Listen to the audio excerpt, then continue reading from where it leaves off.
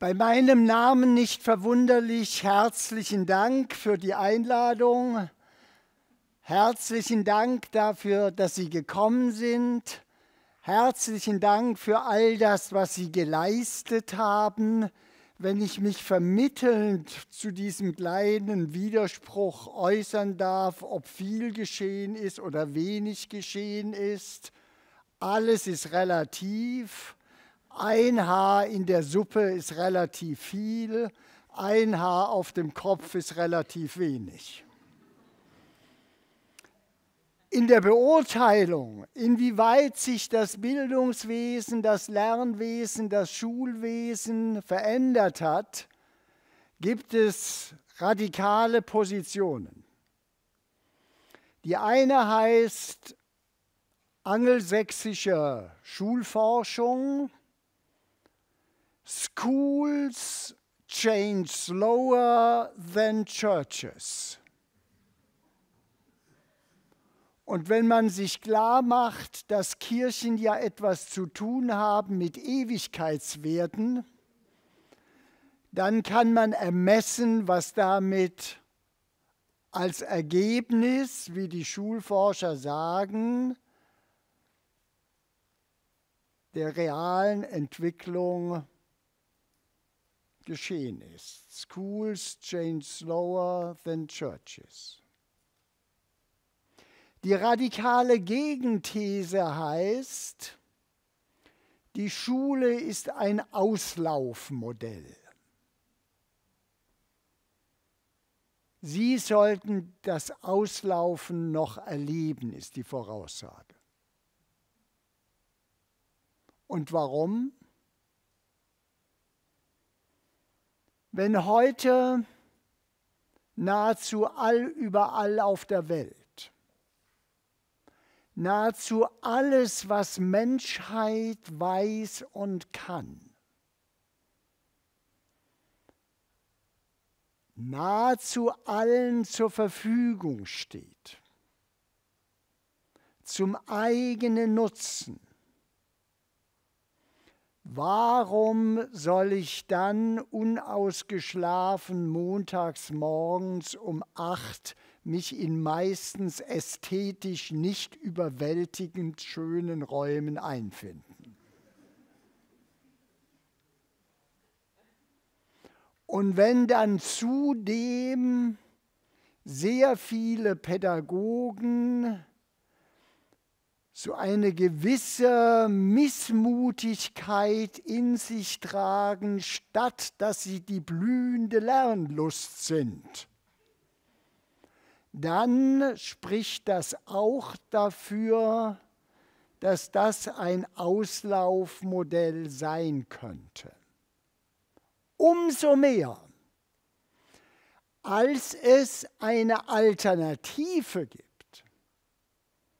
die Menschen, die sagen, die Schulen sind ein Auslaufmodell, sagen nicht, das Lernen hört auf. Sie sagen das Gegenteil.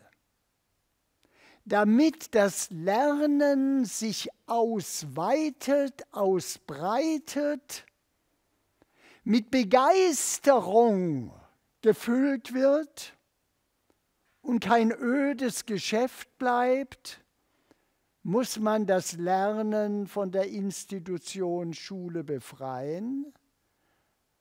Es gibt Postkarten von Schülerorganisationen, da steht drauf, ach, wie gerne würde ich lernen, wenn ich nicht in die Schule müsste. Das sind die radikalen Gegenthesen im Prinzip seit 100 Jahren nichts geändert, auf der einen Seite und auf der anderen Seite Auslaufmodell. Wie so oft, wenn es um Extreme geht, ist das meiste, was die meisten erleben, ich habe mir den Timer gestellt, weil ich in der Gefahr bin, die Zeit aus dem Blick zu verlieren.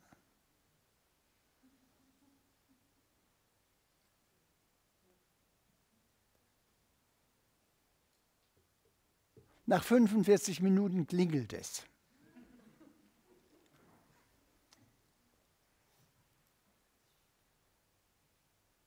Zwischen den Extremen gibt es die Mittelwege, an denen die meisten von uns Anteil haben.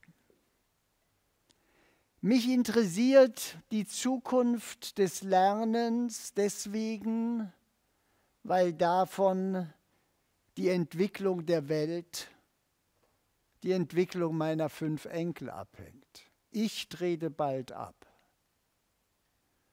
Aber ob diese fünf Enkel und ihre Kinder in einer friedlichen, in einer ökologisch einigermaßen intakten Welt werden leben können, das hängt in wesentlichem Maße davon ab, inwieweit wir gestaltend dank vernünftiger Einsichten in die Welt eingreifen. Das ist der Hintergrund, weshalb mich diese Frage, der ich demnächst 75 werde, nicht ruhen lässt. Und aus den Überlegungen, die ich in dem Zusammenhang mit Ausnahme von Australien auf allen Kontinenten dieser Erde intensiv gesammelt habe, will ich Ihnen ein paar Aspekte heute Abend vortragen mit der herzlichen Einladung, sich jederzeit einzumischen, wenn Sie irgendetwas drängt. Ich empfinde das nicht als störend und bin nicht so leicht durcheinander zu bringen. Mir geht der Ruf voraus, dass ich einigermaßen geordnet bis Mitternacht durchreden kann, aber das ist eine Drohung. Wenn Sie das verhindern wollen, mischen Sie sich ein und behelligen Sie mich. Nein, Sie behelligen mich nicht. Bringen Sie mich mit Ihren Fragen in eine fruchtbare Begegnung.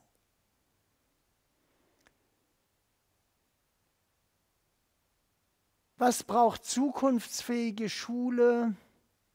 Ich möchte die Frage, obwohl ich ihr ausdrücklich zugestimmt habe, doch ein bisschen verändern. Denn die Frage heißt ja eigentlich, welche Lernmöglichkeiten brauchen Kinder und Jugendliche, damit die Chance gegeben ist, dass sie, wie ich schon sagte, in einer friedlichen, in einer ökologischen Welt aufwachsen können. Also der Fokus sind die Kinder und Jugendlichen. Die Lerneinrichtungen sind ein Mittel, um deren Lebensweg in der einen oder anderen Weise positiv zu unterstützen und zu begleiten. Und es ist einfach so,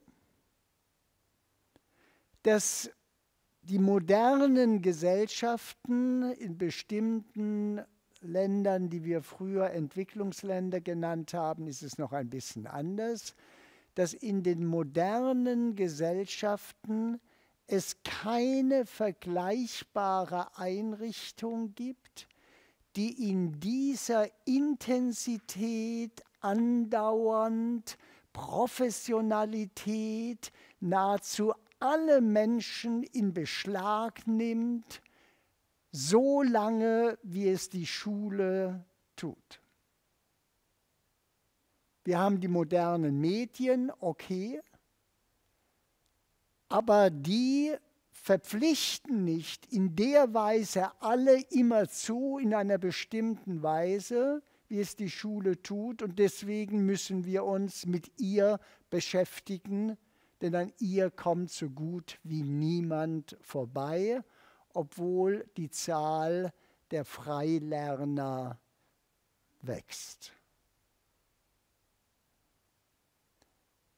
Welche Schule hilft Kindern und Jugendlichen dabei, dass sie zuversichtliche Menschen werden und den Willen und die Kraft und die Potenz haben, im Sinne von Humanität und Solidarität weltgestaltend einzugreifen.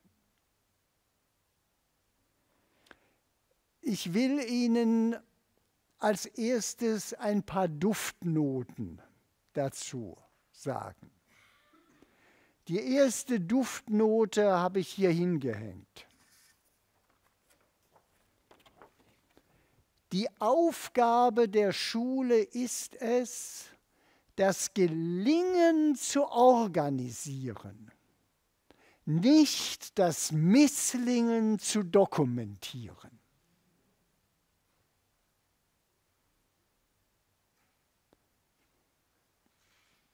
Seid ihr bereit, mal alle die Hand zu heben, die dieser These zustimmen?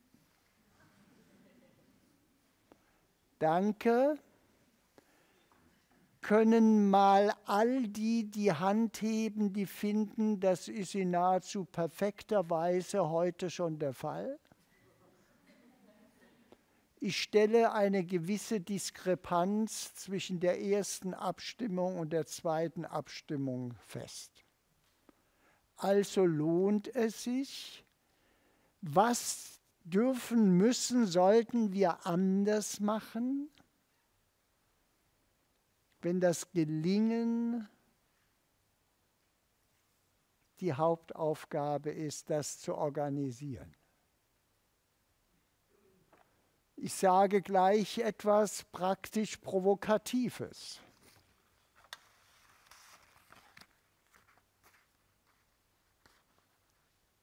Klassenarbeiten, die vermutlich auch in Radebeul nicht untypisch sind für das Schulleben, sind eine Form der organisierten Fallenstellerei.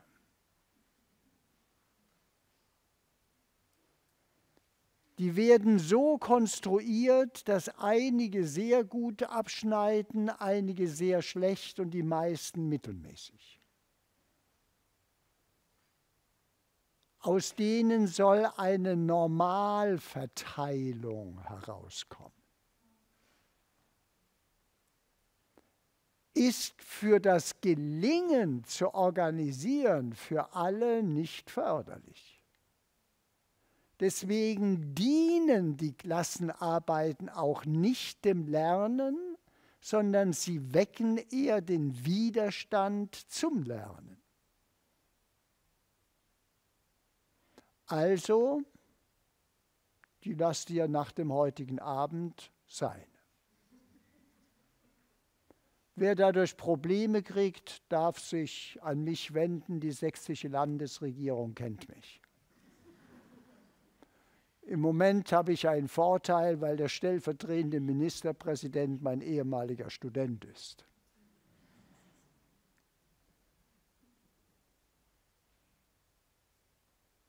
Wenn zu Ihnen ein Handwerksmeister kommt, weil die Heizung nicht geht, und dann ist es 17 Uhr, dann sagt er, die Heizung geht zwar nicht, aber jetzt gehe ich dann sind sie wahrscheinlich nicht glücklich. Aber Klassenarbeiten werden in der Regel nach 45 Minuten alle abgeben. Ist doch Quatsch. Sinnvoll ist doch, ich arbeite an einer Sache so lange, bis sie gut ist. Und wenn sie dann gut ist, dann zeige ich sie anderen gerne und bin fröhlich.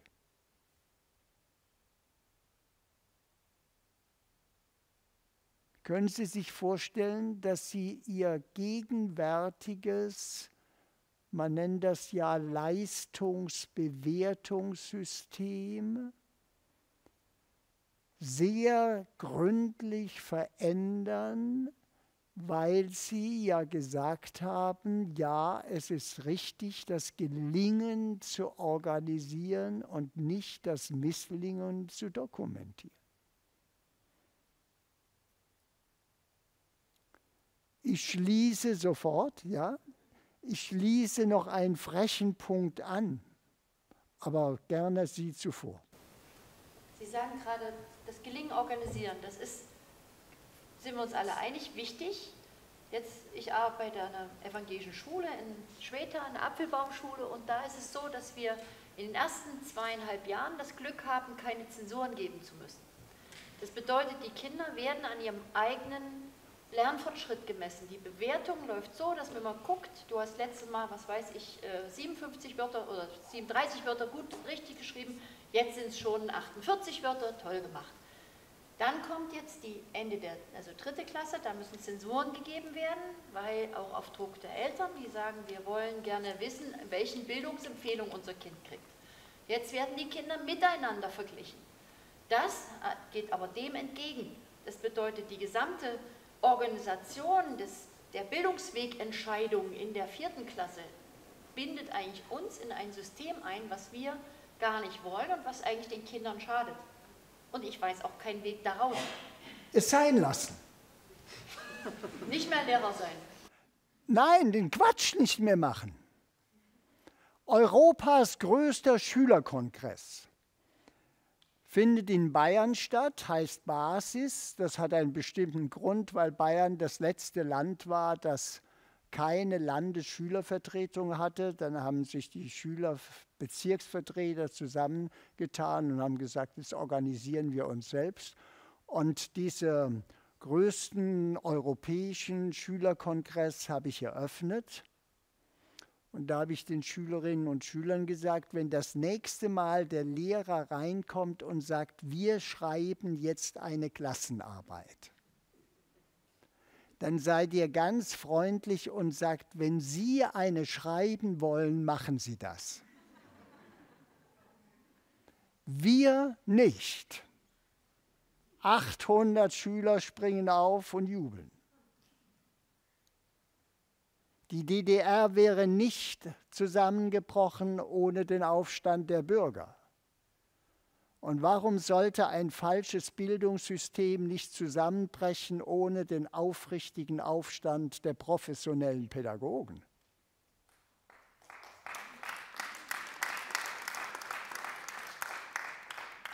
Und in der Regel löse ich meine Zusagen ein mit der Landesregierung, lege ich gerne ein Gutachten vor, das diese Art der ja noch sehr viel ausdifferenzierteren Darstellung von Leistungsbewertung der Lern- und Leistungsentwicklung abträglich ist und nicht zuträglich. Da stimmen wir ja überein.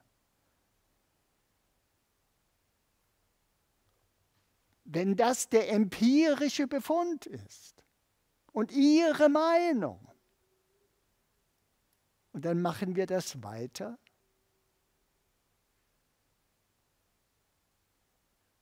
Und dann sollen die Kinder glauben, wir seien der Wahrheit verpflichtet. Ist VW beim Diesel auch nicht. Insofern passt es zusammen.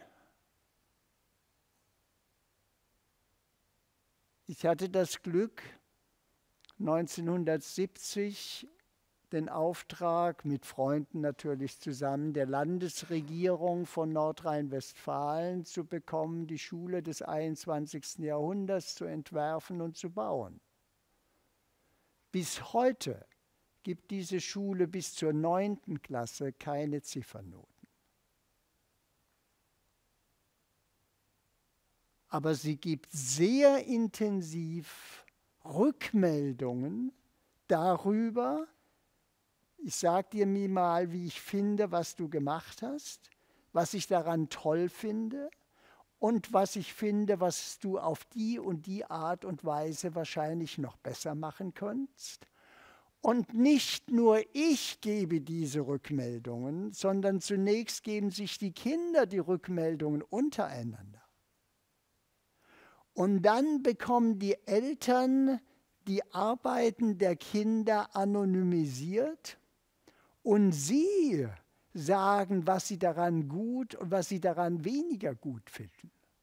Und damit erleben die Eltern, die Sie ja erwähnt haben als Beeinflussungsfaktor, wie wichtig es ist, sich im Detail inhaltlich mit einer Sache auseinanderzusetzen und zu überlegen, wie kann ich etwas besser machen im Sinne der Lern- und Leistungsförderung aller und indem in der Weise Eltern mit einbezogen werden, werden sie Vertreter des Sinnvolleren gegenüber den Anklägern für das Unsinnige. Und die Frage ist, Schools change slower than churches? Ob wir eine Chance haben, sie zu ihren Lebenszeiten dem Sinnvollen noch etwas näher zu kommen. Das ist der Grund, weshalb es immer wieder Schulen gibt, die sagen, wir brechen aus dem Regelsystem aus, weil es für, wir vor unseren Kindern, vor unserer eigenen Redlichkeit und vor der Weltentwicklung nicht rechtfertigen können, wissend das Falsche zu tun.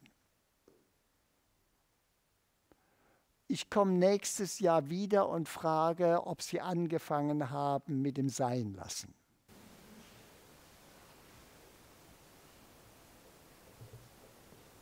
Vielleicht sollte ich einschieben, ich habe es gesehen sofort, vielleicht sollte ich nach Ihnen dann einschieben, ein Moment, warum ist das so, wie es ist? Weil das hilfreich sein kann, wenn man Veränderungen plant. Bitte sehr.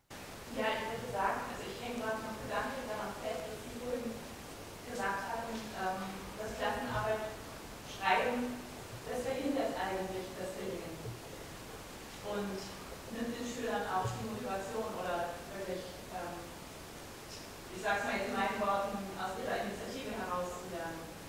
Aber ähm, also ich, ich hänge deswegen daran fest, weil ich mich gefragt habe, war das bei mir so? Und bei mir, also ich stimme Ihnen ganz vielen Sachen zu, die Sie sagen, aber ich habe gerne Klassenarbeit geschrieben. Also ich war Streber, aber, aber ich habe es gerne gemacht. Ich freue mich für Sie, dass das für Sie so war. Und ich kenne auch andere, bei denen das so ist aber zu 70, 80, 90 Prozent ist es so, dass die, die bei diesen Arbeiten gut abschneiden, bisweilen die Tendenz haben, sich zu freuen. Dass es aber relativ wenige gibt, die begeistert sind am Scheitern. Und wenn ich das Ziel habe, und warum sollte ich ein anderes Ziel haben? Dazu beizutragen, dass alle besser werden. Warum praktiziere ich dann nicht Lern- und Leistungsüberprüfungssituationen, die die Chance erhöhen, dass alle sich verbessern und Lernen eher mehr Freude macht als weniger. Und deswegen noch einmal, jeder Ingenieur überlegt doch in seinem Handlungsbereich, wie kann er etwas verbessern, wenn es nicht mehr so richtig gut ist. Und da sie alle Smartphones haben und so andere moderne Geräte, kriegen sie alle 14 Tage ein Update. Weil es eine Riesenindustrie gibt, die sagt, das Bessere ist doch besser als das Schlechtere. Und wenn ich was Neues gefunden habe, wie ich was in einem konstruktiven Sinne updaten kann, Warum mache ich das dann nicht? Also updaten wir unser gegenwärtiges Bewertungssystem, von dem wir wissen, dass es für viele nicht lernförderlich ist, sondern eher lerneinschränkend bis lernablehnend.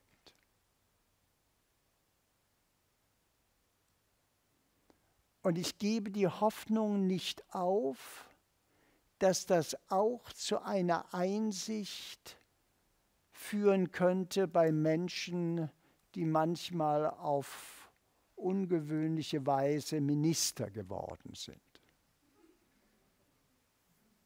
Aber entscheidend ist, dass die Kinder, die Eltern, die professionellen Pädagogen und die Gesellschaft sagt, wir wollen doch mehr Leistung und nicht weniger.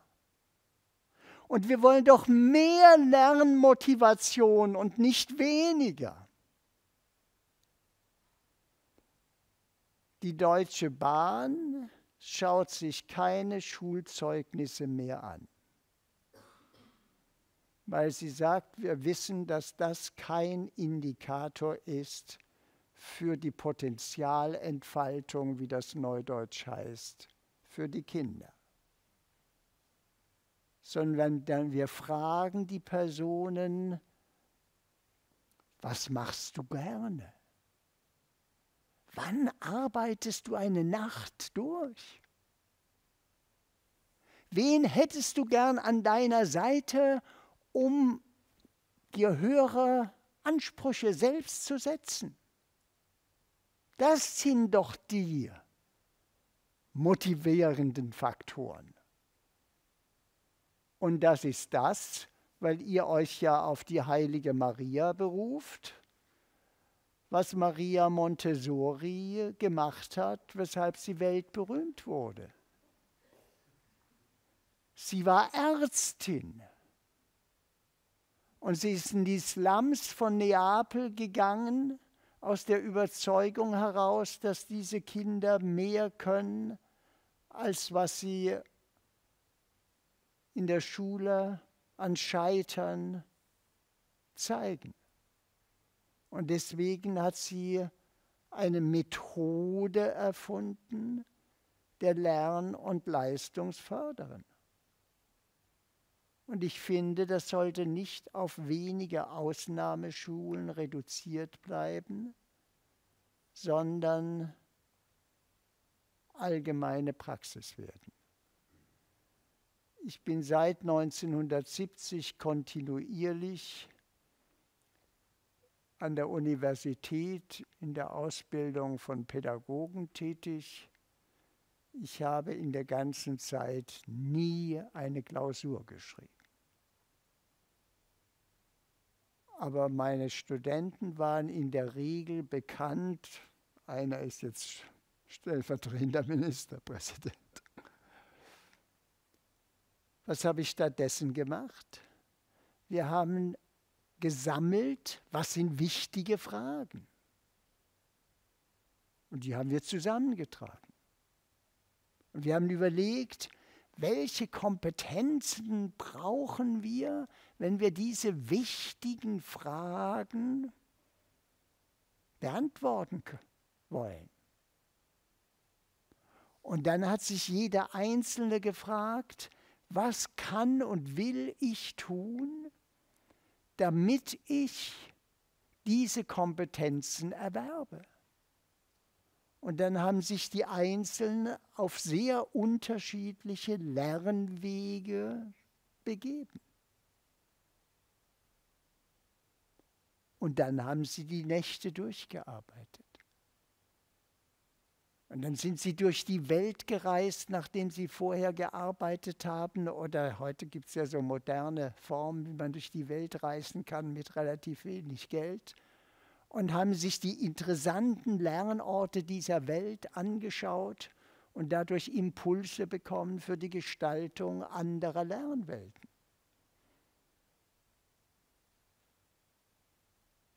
Viel lässt sich lernen, wenn wir uns in der Welt umschauen. Die letzte Großschlacht, die ja in Deutschland geschlagen wurde, war die G8 oder G9. In der falschen Schule sind G9 zu lange. Und wenn G8 nicht zum Erfolg führt, gibt es keinen Grund, nicht G9 zu machen. Aber muss das gesamtgesellschaftlich reguliert sein? Wem nutzt das? Ich erkenne keine Nutzen. Und dann reise ich nach Finnland und dann sagen die mir, na ja, nach der mittleren, was wir so mittlere Reife nehmen, sagen wir, ihr habt jetzt zwischen zwei und vier Jahren Zeit, schreibt euch auf, was ihr in der Zeit lernen wollt und dann teilt euch die Zeit ein und wenn ihr findet, jetzt seid ihr angekommen, dass ihr das und das könnt, dann meldet euch und führt es uns vor. Gibt es irgendeinen Grund, der gegen diese Individualisierung spricht? Ich weiß keinen. Und mit dem Verweis auf Finnland, das ja der europäische, der Welt Bestseller ist in den Schulleistungsvergleichstests, sage ich, das, was ich hier vortrage, gibt es schon mit größerem Erfolg als in unserem Bildungssystem. Also fangen wir doch bitte an. Ich hole nach, was ich angekündigt hatte, nämlich eine kurze Erläuterung, warum wir dieses Bildungssystem, das wir haben, haben. Die Schule hat zwei Eltern. Ich lege mich jetzt mal nicht auf die Geschlechter fest, die kommen ja sowieso ins Wanken. Der eine Elternteil der Schule ist historisch gesehen die Kirchen.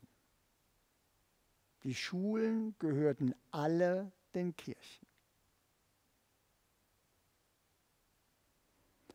Und von diesem Elternteil kommt das, was wir in der Schule Belehrung nennen.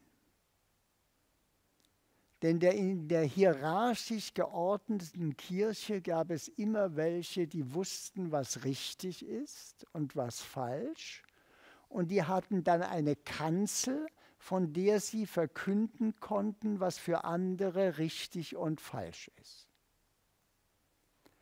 Wenn Sie noch sich die Bilder anschauen von der Schule, auch in Deutschland, am Beginn des 20. Jahrhunderts oder in Schulmuseen gehen, dann sehen Sie, dass im Herrschaftsbereich des Lehrers vorne bei der Tafel Podeste standen, damit der Lehrer etwas erhöht ist. Das war die erniedrigte Kanzel. Nicht mehr ganz so auffallend. Aber wenn Sie sich in Österreich auf eine Professur bewerben, dann bewerben Sie sich noch immer auf eine Lehrkanzel. So heißt es.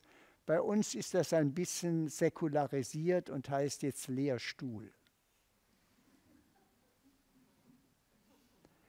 Also das Denken der Menschheit war, dass die, die oben sind, wissen, was gut ist für die, die unten sind das kommt besonders Diktaturen entgegen. Und deswegen sprechen manche von einer Erziehungsdiktatur, von einer Belehrungsdiktatur.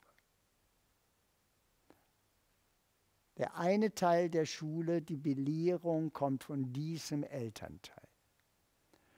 Und der zweite Elternteil der Schule ist das Militär. Und vom Militär kommt die Tradition Gleichschrittmarsch. G8 oder G9. abgeben nach 45 Minuten. Gleiche Aufgaben für alle und so weiter und so fort. Und weil das zwei relativ mächtige Institutionen auch in modernen Gesellschaften sind, die Kirchen und das Militär, ist es so schwer, ein System zu verändern, das diese beiden Elternteile etabliert haben. Und der Staat, der von Kirchen die Schulen übernommen hat, ist ja auch bei uns überwiegend ein Obrigkeitsstaat geblieben und verhält sich dementsprechend weiterhin so, dass er vorschreibt für andere, was im Gleichschrittmarsch bewältigt werden soll. Ich kann aber nur immer wiederholen, dass die empirische Schulforschung und die ganze Reformpädagogik, das ist das, was sie auszeichnet, sagt, dass wenn Menschen individuell auf individuelle Weise den Fragen nachgehen können, die sie für sich als die wichtigen ansehen, dass dann die Lernfreude, der Lerngewinn, der Lernerfolg und das Leistungsvermögen deutlich größer ist, als wenn Personen etwas machen sollen, was sie nicht wollen. Sie, wenn ich sie wieder abstimme, stimmen dem auch nahezu 100 Prozent zu. Und deswegen steht am Beginn der Tradition der Reformpädagogik und des modernen Aufbruchs lern- und leistungsfördernden Lernens die Förderung von Eigentätigkeit und mehr Selbstbestimmung im eigenen Lernen.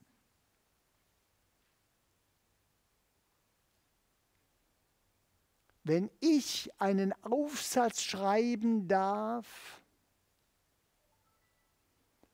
über die Frage, warum sind 80 Prozent unserer Flüsse in Deutschland ökologisch verseucht. Und mich das interessiert, ist die Intensität und der Erfolg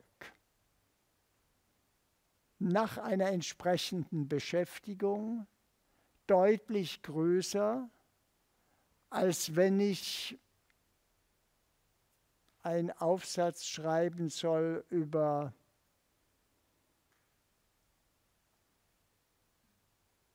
Pole Poppenspäler.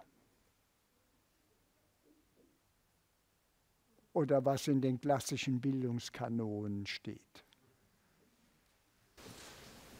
Das, was Sie gerade sagten, mit dem, ähm, dass die Schüler, wenn sie ein eigenes Thema haben, viel freudiger schreiben, kann ich bestätigen. Es ist nur so, dass in den letzten Jahren ich immer mehr beobachte, dass die Schüler, die zu uns in die Schule kommen, weder das Arbeitsverhalten noch das Sozialverhalten mitbringen, um selbsttätig überhaupt lernen zu können, weil sie die einfachsten Dinge, die man zum gemeinsamen, also in einem Klassenverband oder in einem in Lerngruppen oder Partnerlernen haben, nicht mehr mitbringen. Und dass diese, dass eigentlich der Auftrag der Schule bei uns jetzt am Anfang ist, dass die überhaupt erstmal lernen, wie man sich mit einem anderen Partner austauscht, welche Regeln notwendig sind, damit überhaupt ein Lernen möglich wird und damit man gar sich mit eigenen Themen beschäftigen kann.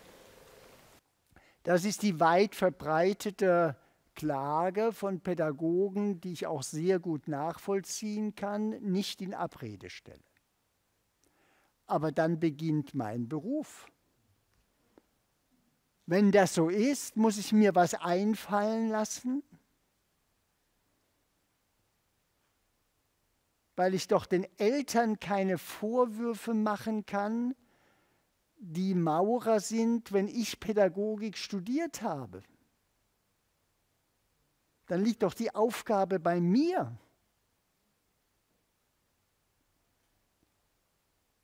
Und dann sage ich Ihnen Beispiele. Wenn zu mir Kinder in der Grundschule in die erste Klasse kamen, war dieser Klassenraum leer.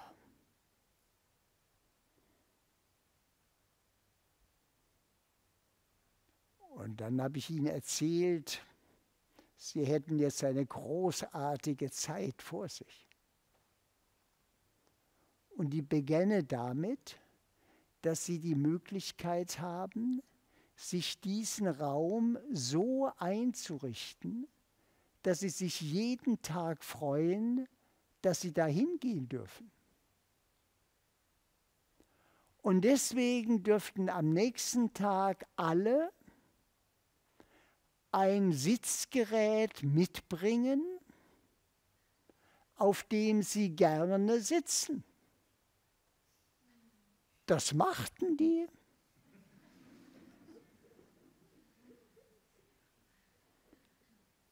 Und ich war aufmerksam genug zu merken, manche konnten sich nicht entscheiden und haben nichts mitgebracht.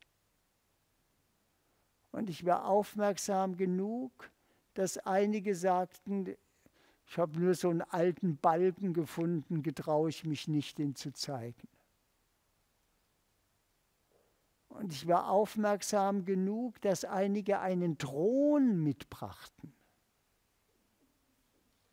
weswegen meine Kolleginnen und Kollegen mir vorher gesagt haben, aber dann kommen doch die ganzen Ungleichheiten zum Ausdruck.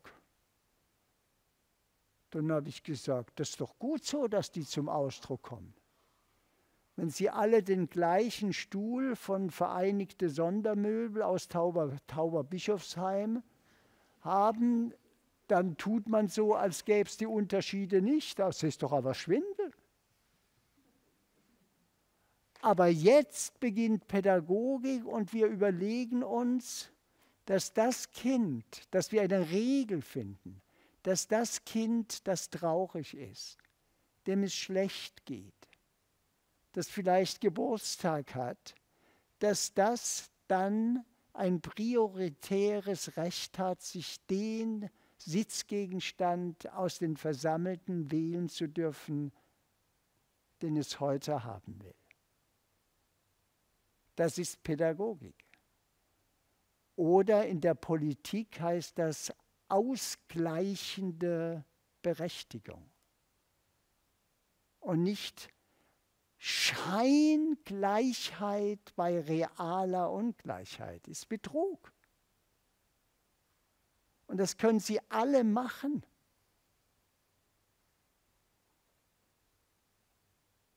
Ich sage Ihnen, ein Punkt, den ich mir eigentlich für heute besonders vorgenommen habe, ihn zu betonen, weil er für die weltgeschichtliche Entwicklung so entscheidend sein wird. Nämlich, uns Menschen scheint anthropologisch innezuwohnen, dass wir gerne das uns Vertraute aussuchen.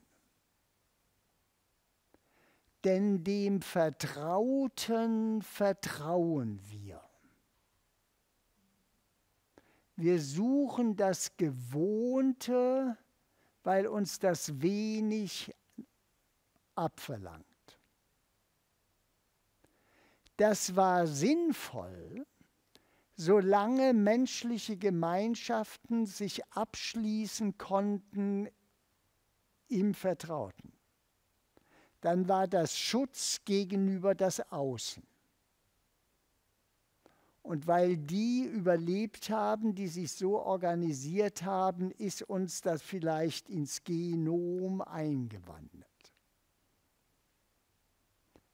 Ich nehme eine Welt gegenwärtig wahr und ich sehe nicht, dass das sich rückwärts entwickeln würde, wo diese Abschottung und Abgrenzung weltweit nicht mehr gelingt und möglich sein wird. Also ist mein Beruf, sich mit Fremdem und Fremden anzufreunden. Denn das ist überlebensfähig, weil Abgrenzung und Ausgrenzung zu Aggressivität aus Angst führt und an Abgrenzung und Ausgrenzung hat sich in der Menschheitsgeschichte ganz häufig die Ausmerzung angeschlossen. Und das ist nicht die Perspektive, die ich für meine Kinder und Enkel will, die ich für niemanden auf dieser Welt will. Also muss es zum Kernauftrag der zukunftsfähigen Schule werden, sich mit Fremdem und Fremden anzufreunden. Und damit Sie das nicht vergessen, habe ich seit acht Tagen eine Postkarte. Das ist eine sogenannte Maxi-Karte. Das ist die größte Fläche, die Sie zum günstigsten Porto verschicken können. Das weiß manche Poststation nicht. 45 Cent, Maxikarte. Und da steht drauf eine Herausforderung für uns alle, Ausrufezeichen. Eine Einladung an uns alle, Punkt. Und eine Lust für uns alle, Fragezeichen. Mit Fremdem und Fremden sich anfreunden. Ihre nächste pädagogische Konferenz wird sich mit dieser Frage beschäftigen, wie geht das?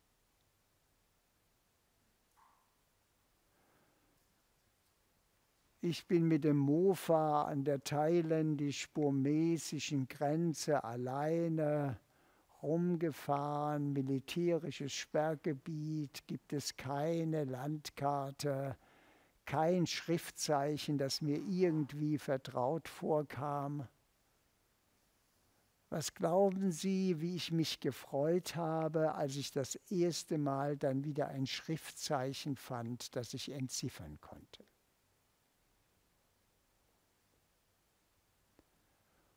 Und wenn ich auf eine deutsche Autobahn fahre, dann gibt es da so Papierkörper, Mülleimer. Ich habe es nachgezählt, da steht in zwölf Sprachen drauf, dass da der Dreck reingehört.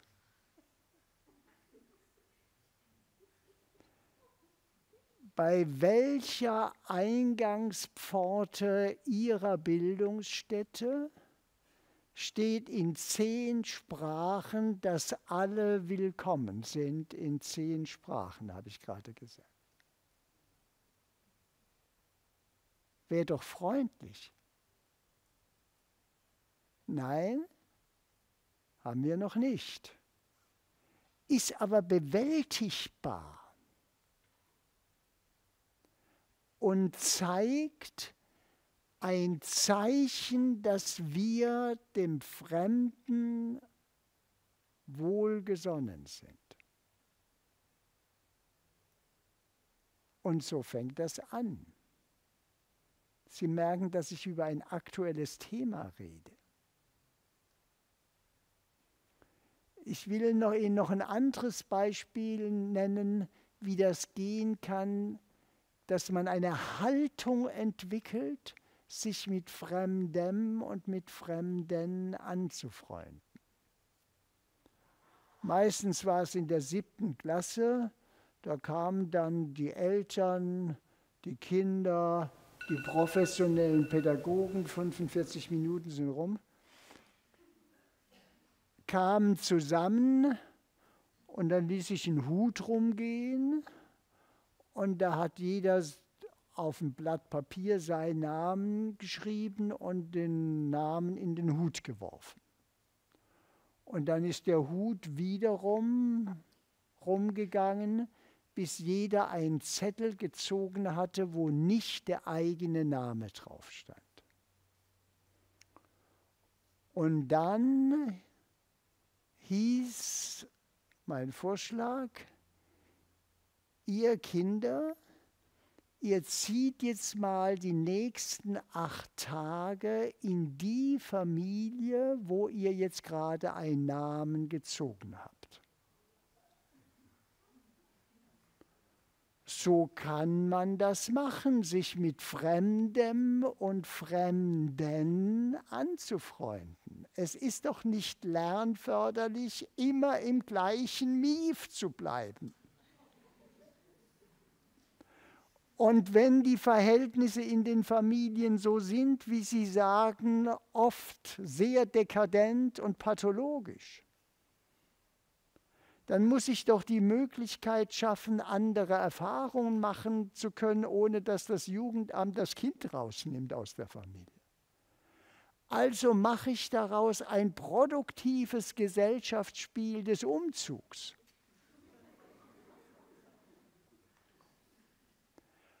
Und was glauben Sie, wenn dann die Kinder nach diesen acht Tagen eingeladen haben, sie würden erzählen, was sie erlebt haben in der jeweils anderen Familie? Dann hat es ein Wochenende gebraucht. Und dann sind die Opas und die Omas und die Nachbarn oft mitgekommen, weil die das auch wissen wollten. Und dann haben die Kinder erzählt, was sie alles erlebt haben. Das nennt man Sensibilisierung der Wahrnehmung für differente soziale Situationen. Also wenn ich eine Lehramtsprüfung machen muss, sollte jemand das auch so sagen können. Und das ist doch entscheidend für unser aller Zusammenleben dass ich lerne mit Sensibilität zu verstehen, warum, wo, wie, was auch ganz anders sein kann. Und wenn das in unserer gegenwärtigen Welt der Weltenwanderung eine der Kernaufgaben ist, sich mit Fremdem und Fremden anzufreunden. Dann lasst uns gemeinsam überlegen, was wer in seinem Kontext kann und will, damit die für die Weltentwicklung entscheidende Frage beantwortet wird. Das ist die zukunftsfähige Schule. Nicht, dass wir sagen, es gibt Gymnasiasten und die gehen ins Gymnasium und es gibt Volksschüler, die gehen, weil sie zum Volk gehören, in die Volksschule und damit es nicht mehr so auffällt, nennt man es jetzt Oberschule. Aber nicht höhere. Abstand bleibt gewahrt. Etikettierung, die überholt ist. Das gymnasiale Chromosom hat noch niemand entdeckt. Und deswegen ist natürlich eine zukunftsfähige Schule eine, wo alle Kinder bis zumindest 16 Jahren gemeinsam aufwachsen. Wofür ich gekämpft habe in den Bundesländern nach der Wende, dass das erhalten bleibt. Aber da ihr ja beigetreten worden seid, haben das die Wester anders verfügt. Und wir wissen wieder genau, dass in der Heterogenität fruchtbarer gelernt wird als in der Homogenität. Und dass sich für, für Personen mit Benachteiligungen Chancen eröffnen, die sie in den homogenisierten Kulturen nicht haben. Und deswegen seid ihr wahrscheinlich schlau, dass ihr eure Oberschule, zu der ich euch gratuliere, Oberschule nennt, weil die noch weniger selektiv ist. Aber natürlich muss es eine Schule sein für alle Kinder. Denn die wichtigste Aufgabe der zukunftsfähigen Schule ist es, das Zusammenleben zu lernen. Denn wenn wir das nicht lernen, geht es den Bach runter, wenn ich mich mal so unprofessionell, aber plastisch ausdrücken darf. In den Fachbüchern der Erziehungswissenschaft steht noch immer, die Schule habe drei Hauptaufgaben die Qualifikationsfunktion, die Selektionsfunktion und die Legitimationsfunktion. Qualifikationsfunktion ist euch klar, man soll am besten was Gescheites lernen. Selektionsfunktion heißt, man will die einen zu Lasten anderer auswählen und von ihnen trennen die Höheren von den Niederen. Und Legitimationsfunktion heißt, dass die, die jeweils über die gesellschaftlichen Bereiche verfügen, sagen, was gilt und was nicht gilt, was du glauben sollst und was du nicht glauben sollst. Und wenn ich vor zwei Tagen, weil ich in der Regel früh aufstehe, um vier im Deutschlandfunk gehört habe, dass eine Abordnung der Deutschen Bischofskonferenz nach Rom gereist ist, um den Papst zu fragen, ob, wenn eine Ehe geschieden war, die beiden Ehepartner, wenn sie doch wieder zusammenkommen, gemeinsam zum Abendmahl gehen dürfen, da habe ich mich gefragt, in welcher Welt ich lebe. So lassen sich die Weltkriege nicht verhindern. Und das ist die Frage, vor der wir stehen. Und deswegen sage ich, die wichtigste Aufgabe der zukunftsfähigen Schule ist nicht Qualifikation, Selektion und Legitimation, sondern Zusammenleben lernen. Und deswegen müssen alle zusammen sein. Und das heißt auf Neudeutsch Inklusion. Und Inklusion hat den Rechtsstatus eines Menschenrechtes. Und Menschenrechte sind nicht verhandelbar und schon gar nicht unter Finanzvorbehalt zu stellen. Wer nicht inklusive Bildungsstätten schafft, geht ein Verbrechen gegen die Menschenrechte. Und ich weiß nicht, wer heute schon über das Datum nachgedacht hat. Heute ist der 8. Mai, ein welthistorisches Datum. Vor 53 Jahren, also nicht so ganz doll, lange her. Am 8. Mai 1945 war der Zweite Weltkrieg zu Ende. Beginn einer neuen Zeitrechnung.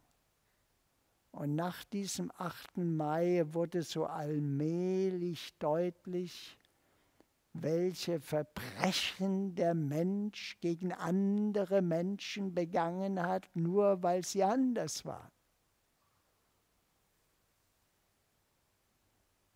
Ich bin ein Jahr vorher, 1944, in einem Luftschutzbunker geboren, weil damals schon die Tiefflieger auf Mannheim geflogen sind. Das war ein militärisches Zentrum. Mein Vater war natürlich nicht da, der war im Krieg.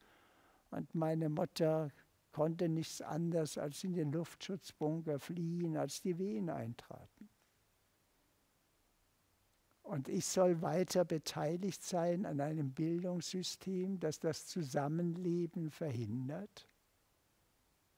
Nein, ich bin der UNO, der Weltstaatengemeinschaft, dankbar dafür, dass sie Inklusion in den Rang eines Menschenrechts gehoben hat. Und deswegen bitte ich euch mitzumachen, dass wir inklusive Lerngemeinschaften schaffen dass das auch mal schwer sein kann, weiß ich. Ich kenne diesen Vorgang ziemlich gut. Als dieses Menschenrecht aus der UNO nach Deutschland kam, und die internationalen Vereinbarungen sind ja vor allen Dingen in Englisch, und die Kultusministerkonferenz den Paragraph gelesen haben, all the people have the right for an inclusive educational system. Da sind sie so erschrocken, dass sie das absichtsvoll falsch übersetzt haben. Und die Erstfassung hieß dann, haben auf ein Recht auf Integration. Und so wird auch bei uns gegenwärtig die Inklusionsdebatte geführt. Und deswegen sage ich, Inklusion, Integration ist keine Vorform auf dem Weg zur Inklusion, sondern Integration und Inklusion sind ziemlich gegenteilige Angelegenheiten. Weil inklusiv heißt, alle gehören zusammen in all ihrer Unterschiedlichkeit von Anfang an und immer zu. Weil jeder Mensch einzigartig ist sind, wenn ich das respektiere und daraus kein Gleichschrittmarsch mache, keine Uniformierung. Im Prinzip immer und alle Gesellschaften inklusiv. Ich kann es mehr oder weniger weit öffnen und das ist angesagt. Weil es keine inkompetenten Menschen gibt.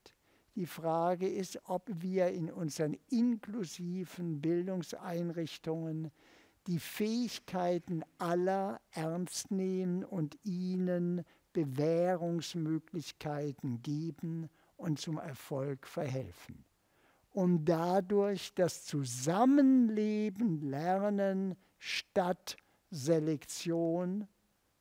Und ihr wisst, welche Bedeutung das Wort Selektion in dieser Zeit vor dem Zweiten Weltkrieg hatte. Und ich habe mit großer Anerkennung euer Rahmenkonzept gelesen für die Oberschule. Und wie ihr betont, dass jeder einzelne Mensch ein Geschöpf Gottes ist, mit unveräußerlichen Gaben, und dass es diese Gaben zu schätzen, wertzuschätzen gilt. Und sich daran zu orientieren, kommt einem Protestanten wie mir sehr entgegen. Aber es gibt eben auch diese historische Wahrheit, dass nämlich in nur sechs Jahren Zweiter Weltkrieg mehr Menschen von anderen Menschen auf zum Teil unvorstellbare Weise umgebracht, vernichtet, ausgemerzt wurden, als wir wissen, dass Menschen in 6000 Jahren durch Naturkatastrophen umgekommen sind. Das gehört zur Wahrheit der Ebenbildlichkeit des Menschen Gottes auch dazu. Insofern ist die Aussage zutreffend, dass der Mensch auch die größte Bestie ist, die es auf dieser Welt gibt. Kein anderes Wesen hat in der Entwicklungsgeschichte aller Lebewesen so viel Verheerendes hergestellt wie der Mensch. Und deswegen brauchen wir eine zukunftsfähige Schule, die sich dem Frieden widmet, die sich mit Fremdem anfreundet, weil man dem Freund den Kopf nicht einschlägt. Und nicht sagen, der gehört nicht hierher. sondern wir müssen Systeme bauen, in denen die Unterschiedlichkeit zur Geltung kommt. Sonst habe ich Angst, ich habe es wiederholt gesagt, um die Chancen, die meine Enkel haben, in einer friedlichen Welt leben zu können. Und das ist doch großartig, dass wir diese Möglichkeit haben. Das macht doch meinen Beruf so unvergleichbar wertvoll. Es gibt doch nichts Wertvolleres, als Kindern und Jugendlichen dabei helfen, mit Vernunft und Zuversicht aufzuwachsen. Und das Handwerkzeug und das Kopfwerkzeug zu lernen, sich zu verstehen und sich zu verständigen. Statt auszugrenzen, abzugrenzen, etc.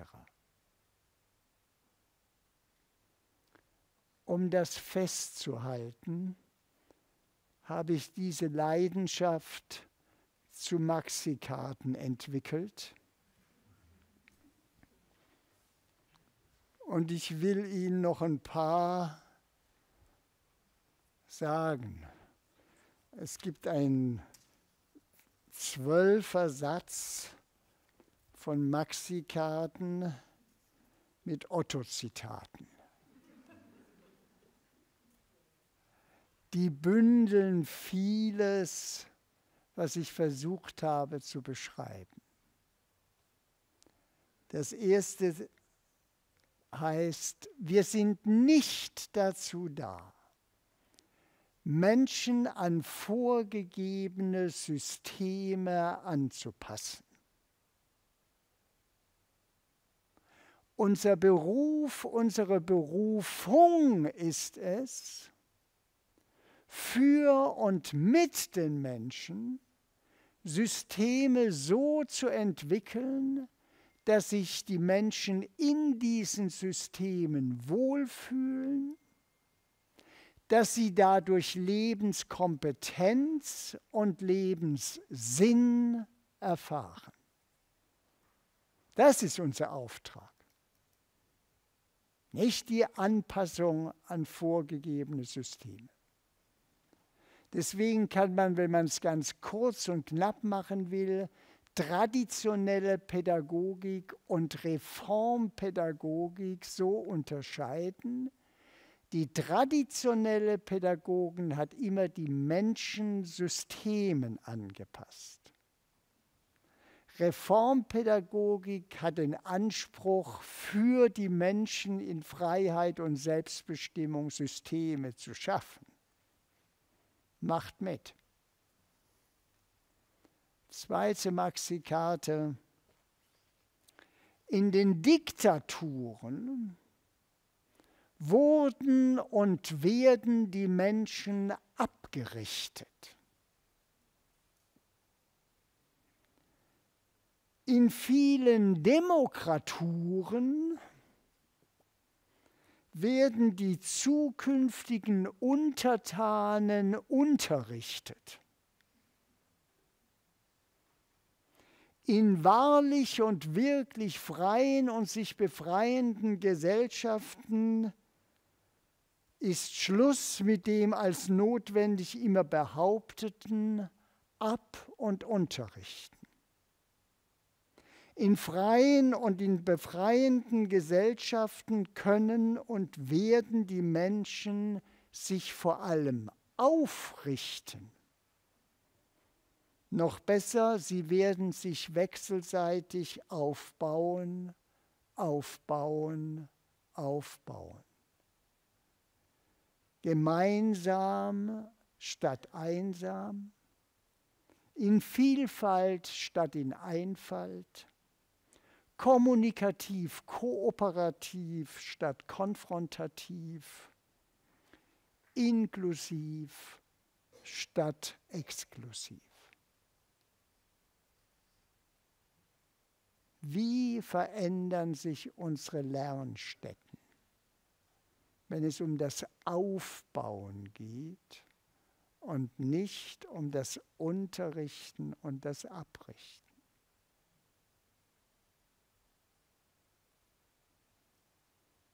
Versuche immer die entscheidenden großen Linien in praktisches Handeln zu übersetzen.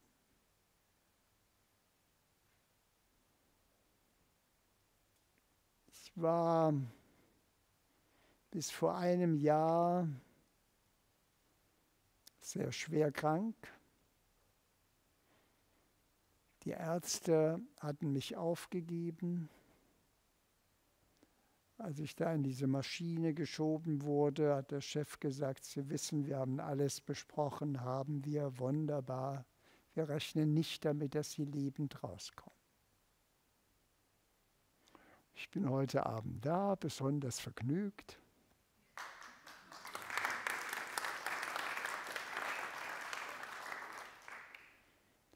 Ich habe nachgedacht, dass in den anderthalb bis zwei Jahren die ich da in der ärztlichen Obhut war,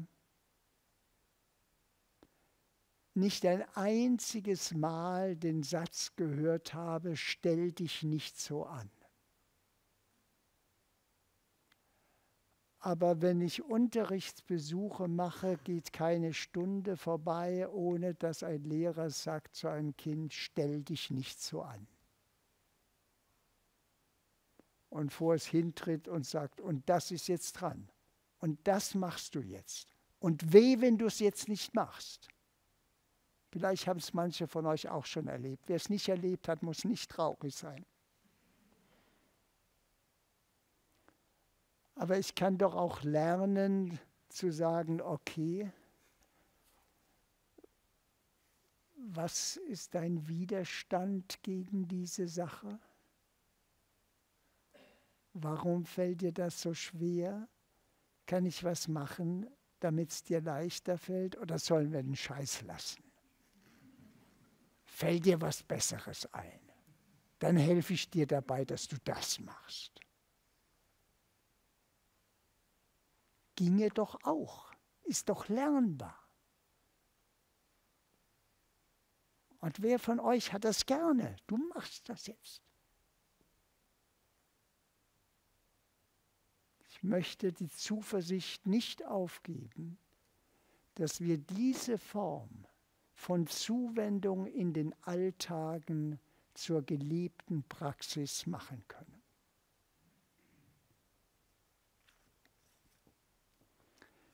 Sie wissen, Da gab es einen Bundespräsidenten, der hat seine Antrittsrede mit einem Satz ausgezeichnet, die dann seiner Beerdigung immer wieder zitiert worden ist. Der Satz hieß, es muss ein Ruck durch Deutschland gehen. Roman Herzog. Dieser Roman Herzog hat nach der Ruckrede noch eine zweite Adlon-Rede, also im Hotel Adlon in Berlin gehalten. Das war eine Rede auf die Bildungsfreiheit. Und da hat er gesagt, wer die Noten aus der Grundschule abschafft, propagiert eine Kuschelpädagogik, die den Niedergang Deutschlands bedeuten wird.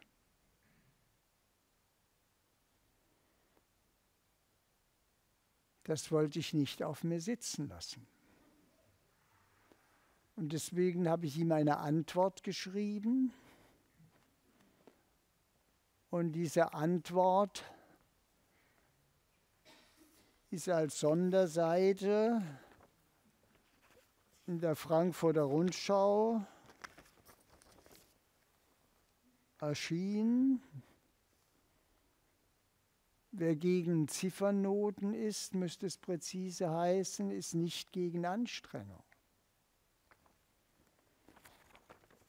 Und auf meiner Maxi-Karte heißt es,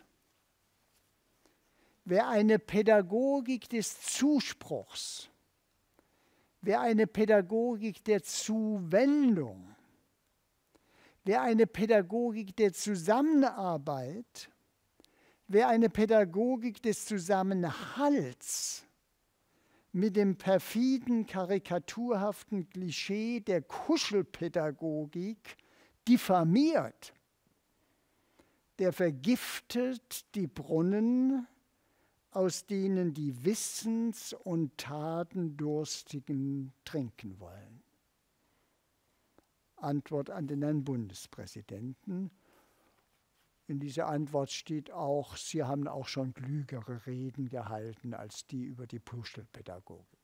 Sei Ihnen verzeih, verziehen, aber lassen Sie zukünftig den Quatsch.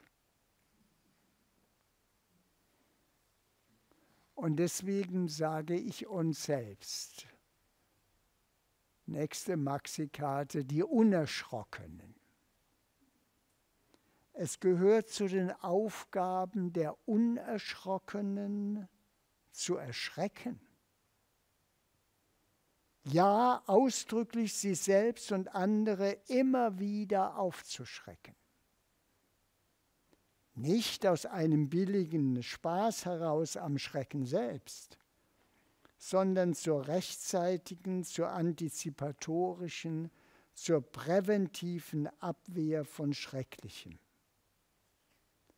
dass die dann und dadurch Erschrockenen, die meist nur vordergründig, manchmal aber auch hintergründig aufgeschreckten, reaktiv, rasch, häufig, heftig und deftig um sich und auf andere einschlagen, ist ein Indiz dafür, dass tatsächlich Schreckliches im Busche sich verbirgt. Der Volksmund, der freilich nicht immer recht haben muss, sagt es unmissverständlich, getroffene Hunde bellen.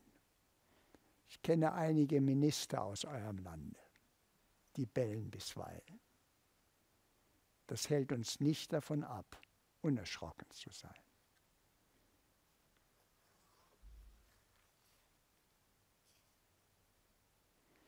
Wer noch so perfekt lesen, schreiben, rechnen und computern kann,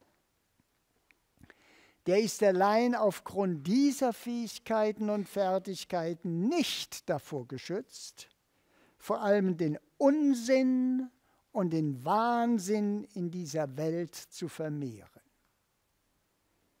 Terrorismus zum Beispiel ist die uns heute bedrängende Perfektion von multipler Intelligenz zu destruktiven Zwecken. Und faschistisches Handeln war und ist eine andere Unart des missratenen und des missbrauchenden Ungeistes in kaum begreifbaren Dimensionen. Darum und dem gegenüber muss klar sein, Bildung für nachhaltige Entwicklung ist ein ausdrücklich ethisches Konzept, das Konzept, das nach Einlösungsformen einer doppelten Gerechtigkeit sucht, der Gerechtigkeit zwischen den Generationen, intergenerationelle Gerechtigkeit. Wir Alten dürfen nicht so leben, dass wir die Zukunft der Jungen schon verbraucht haben. Die intergenerationelle Gerechtigkeit, und der Gerechtigkeit zwischen den Regionen der Welt, die interregionale Gerechtigkeit. Ich möchte kein Teil eines Wirtschaftssystems sein, das seinen Profit daraus zieht, dass systematisch Kinder verhungern. Heute 20.000 auf der Erde, gestern 20.000 auf der Erde, morgen 20.000 auf der Erde obwohl wir die alle mühelos satt machen können. Und ich möchte auch kein Nutznießer sein am Bruttosozialprodukt, das auch deswegen hoch ist, weil die Herstellung von Massenvernichtungswaffen ein Bruttosozialprodukt fördernder Faktor ist aber ich bin Teil der Massenvernichtung, obwohl das laut selten gesagt wird. Solange ich nicht mich anschließe, Frieden schaffen, ohne Waffen und Schwerter zu Pflugscharen. Auf die Schule nochmal kommend,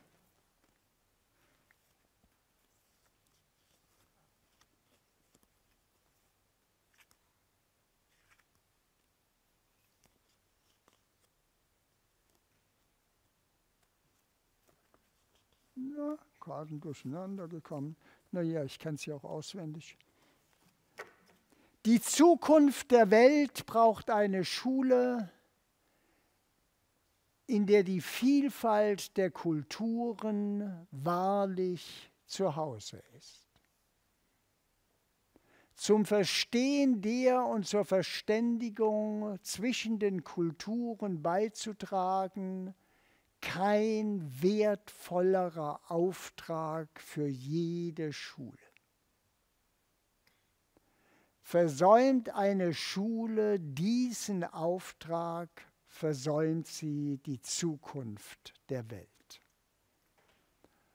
Und deswegen bitte ich euch, dass wir gemeinsam unsere Schulen öffnen.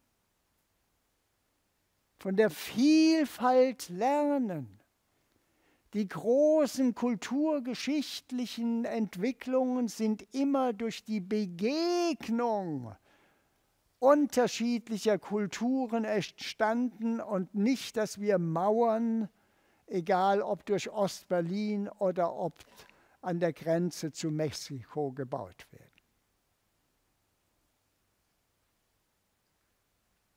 Lasst uns an diesem arbeiten. Dann gehören wir zu denen, die man die Avantgarde nennt. Und der Avantgarde habe ich natürlich auch eine Maxi-Karte gewidmet. Und die heißt so.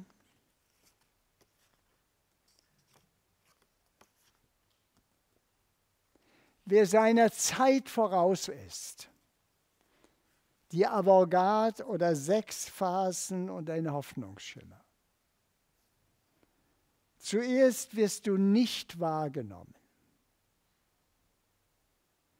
Dann wirst du geringschätzig betrachtet. Dann stößt du auf Ablehnung. Dann erfährst du heftigen Widerstand. Dann sollst du zum Aufgeben verführt oder bestochen werden. Schließlich wirst du bedroht, bekämpft, vielleicht sogar vernichtet. I have a dream.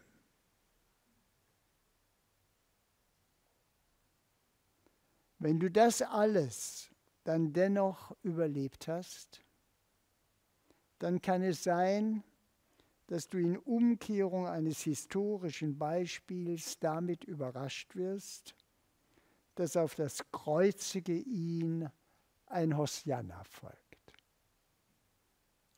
Lasst uns für dieses Hosianna leben. Es lohnt, es ist vergnüglich. Deswegen ist mir das Leben nochmal geschenkt worden. Und deswegen sage ich noch zwei Sachen.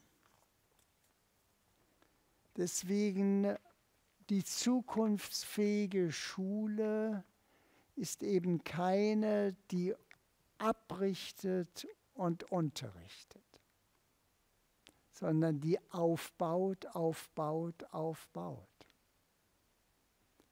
Und das Oberste, was sie aufbauen sollte, ist die wichtigste Bürgerinnen- und Bürgertugend, die es gibt.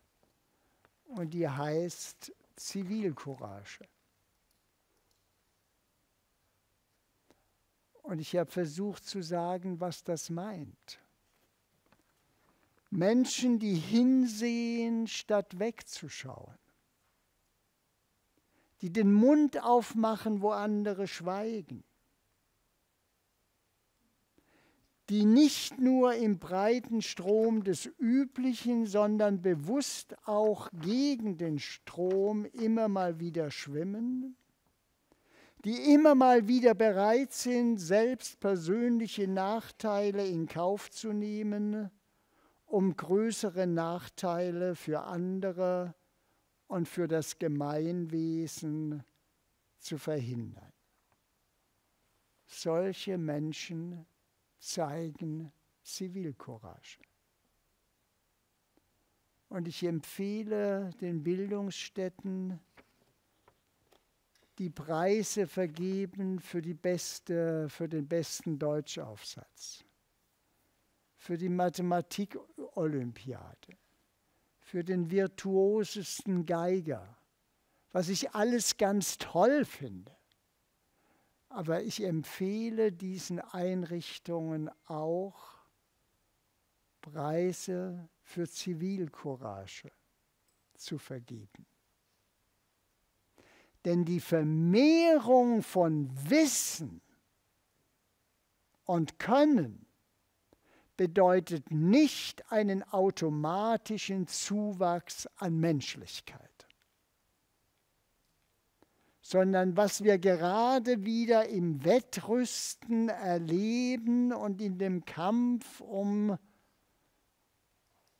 den Aufbau noch schrecklicher Atomwaffen ist die Anstrengung des Menschen, seine Existenz zur Vernichtung anderer zu nutzen.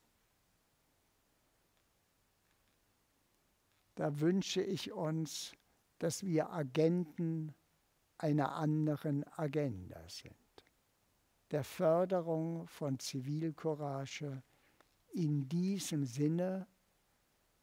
Und das beginnt mit dieser Dresdner Schülerin, die sich gewehrt hat, dass ihre Klassenkameraden zu anderen gesagt haben, ihr seid ja wie die Juden, euch müsste man vernichten und vergaßen. Und diese Schülerin hat im Kollegium und von dem Schulleiter keinen Beistand bekommen. Und deswegen ist sie jetzt im Ausland, weil sie sagt, ich kann nicht mehr in dieser Stadt leben. Ich habe mit ihr Kontakt. Das gibt es im Kleinen an vielen Orten. Lasst uns in diesem Sinne wachsam sein und uns einsetzen für die Förderung von Zivilcourage, wenn wir unsere intellektuellen, sozialen, emotionalen Möglichkeiten auch dafür einsetzen, ist sie besser eingesetzt als für die reine Fachleistungskultur. Ich habe euch das eine oder andere mitgebracht, also zum Beispiel dieses Plakat. Förderung von Zivilcourage könnte ja in jedem Lehrerzimmer hängen. Ich habe euch mitgebracht ganz viele Postkarten Maxi mit Fremdem und Fremden anfreunden. Ich habe euch mitgebracht die Aufgabe der Schule ist es, das Gelingen zu organisieren und so weiter und so fort. Und ich habe euch mitgebracht, und damit will ich dann erstmal schließen, aber stelle mich natürlich allen Fragen. Etwas, was ich Credo nenne, mein Credo. Plakate habe ich jetzt nicht so viel dabei, aber in klein steht es alles da auch drauf. Und das Große kann man, schreibe ich nachher gleich noch auf, hier auch bestellen. Ich habe gedacht, ich schreibe euch auf ein Credo. Jeder Mensch ist einzigartig, also muss ich der Einzigartigkeit Platz, Raum, Möglichkeiten schaffen. Jeder Mensch ist kompetent, also organisiere ich Lerngelegenheiten, wo er seine Kompetenz erlebt und sie weiterentwickeln kann.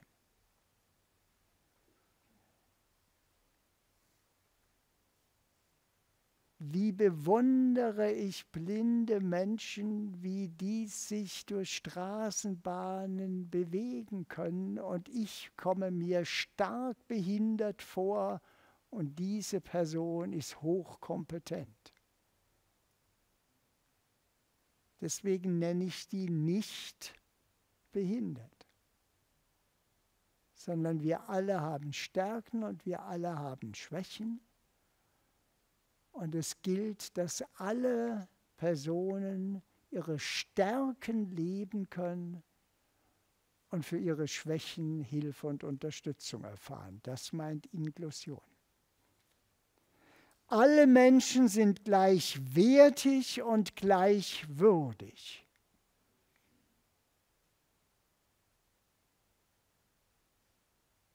Höhere Bildung für höhere Schichten in höheren Schulen passt dazu nicht. Lernen kann ich überall. Deswegen gibt es ja bei euch in den reformpädagogischen Schulen viel Lernen an außerschulischen Lernorten weil ich, dass ich die Fülle des Lebens in den kargen Klassenzimmern lernen soll, hat mir noch nie eingeleuchtet. Also muss ich mein Konzept um sehr viel mehr Lerngelegenheiten bereichern. Lernen kann ich überall. Gemeinsam ist besser als einsam. Vielfalt ist anregender als Einfalt. Verantwortung baut auf. Wenn ich keine Verantwortung abtrete, kann sie auch niemand lernen. Gefühle stiften Einsichten. Fehler sind Freunde, Üben macht die Meisterin, Leistung verdient Anerkennung, Wege entstehen beim Gehen, Reisen bildet, Träumen in vielfältigsten Räumen, sich mit Fremdem und Fremden anfreunden, Umwege erhöhen die Ortskenntnis, Sprache schärft bewusstes Sein. Kinderrechte sind universale Menschenrechte. Das Leben stellt die Fragen. Und wir stellen uns diesen Fragen. Herzlichen Dank. Ich habe euch da ein bisschen was hingelegt. In der Regel kostet eine Karte 1 Euro, die Plakate 2 Euro. Ich baue Schulen in einem der ärmsten Länder dieser Erde, in Sierra Leone, das den schrecklichsten Bürgerkrieg hatte mit dem höchsten Einsatz von Kindersoldaten, die es je in der Geschichte gegeben hat. Und in die fließen solche Erträge dann wieder ein. Insofern nutzt das als Schule des Vertrauens. Manches habe ich jetzt nicht vielfach genug mitgebracht, weil ich es nicht mehr tragen kann. Aber wenn ihr schaut bei www.editionherz.de, dann könnt ihr das bestellen und dann kriegt ihr auch für das Finanzamt eine ordentliche Quelle, äh, eine ordentliche Quittung. Ich danke euch für eure große Geduld für euer Mitmachen und ich stehe für weitere Fragen auch im Nachhinein per E-Mail oder wie immer zur Verfügung. Lasst uns aufbrechen in Neuland im beschriebenen Sinne. Herzlichen Dank.